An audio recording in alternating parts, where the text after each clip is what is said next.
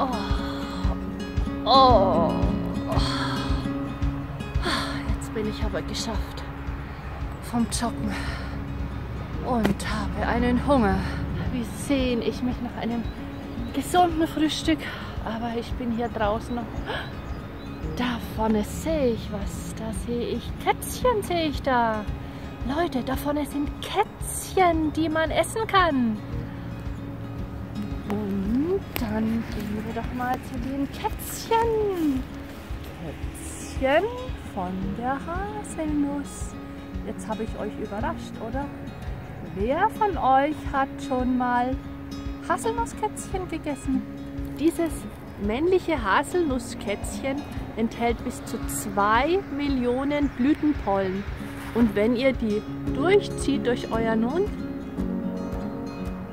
einfach ein bisschen so ableckt, bekommt ihr schon ganz viel Blütenpollen ab. Diese Frühjahrskraft, diese enorme Power. Wir können sie verwenden, wenn wir Grippe haben, wenn wir Erkältung haben, weil sie schweißtreibend sind und das Fieber senken. Und diese Kätzchen hier haben ganz viele Antioxidantien, also Flavonoide, das ist dieser gelbe Farbstoff und er ist super für unser Immunsystem zum Stärken.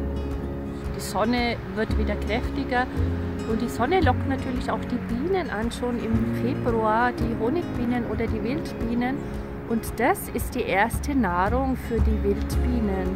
Mutter Natur hat da so was ganz Geniales gemacht, einfach ganzzeitig im Frühjahr schon an die Nahrung gedacht für die Wildbienen. Und warum sollten wir es den Bienen nicht nachmachen und uns diese vitaminreichen und köstlichen Blütenpollen auch holen? Aus diesen Blütenständen wachsen ja später die Haselnüsse, die ihr sicherlich kennt, die dann im Herbst am Busch sind. Und der Haselnussbusch bekommt seine Nüsse erst im 10. Lebensjahr. Der Baum selbst oder der Busch kann bis zu 100 Jahre alt werden. Seht ihr diese Knospe hier? Das wird wahrscheinlich eine weibliche Blüte. Die weiblichen Blüten sind ganz, ganz klein, ähm, bleiben umschlossen von dieser braunen Knospe und man sieht nur eine kleine rote Blütennarbe herausspitzen. Das ist die weibliche Blüte. Könnte man auch essen, aber da müssen wir jetzt einfach noch ein paar Wochen warten, die Frauen, die mögen diese Kälte nicht so sehr, die warten einfach noch ein bisschen.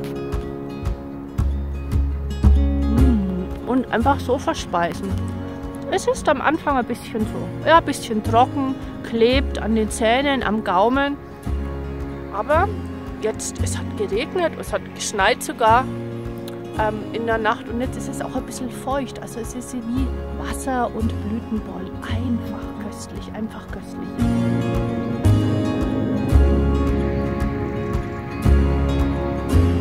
falls euch die Blütenstände doch ein bisschen vielleicht zu trocken sind, vielleicht mit Banane. Ein wunderbares Frühstück. So gesund, so lecker. Und jetzt noch einen guten Kräutertee, frisch von der Wiese gepflückt.